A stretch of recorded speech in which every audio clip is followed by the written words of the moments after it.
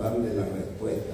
que los dominicanos necesitamos en materia de salud. En el caso de la pediatría, hacen ingentes esfuerzos por encima de lo que la propia capacidad instalada de un modelo agotado nos pone en las manos para darle servicio a la población. Voy a solamente hacerle una mención de tres eh, referencias que me interesa que ustedes tengan presente.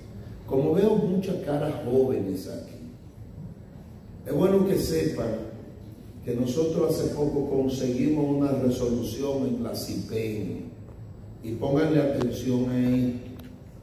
en la CIPEN porque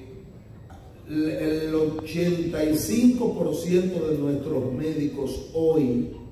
están en capitalización individual. Y cuando cumplan el rigor de la ley de los 30 años, la proyección de su pensión está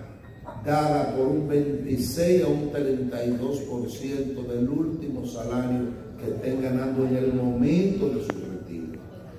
Ya tenemos la resolución para que cada quien haga su traslado al reparto para que puedan irse con una pensión, como la tenemos planteada en un proyecto que hoy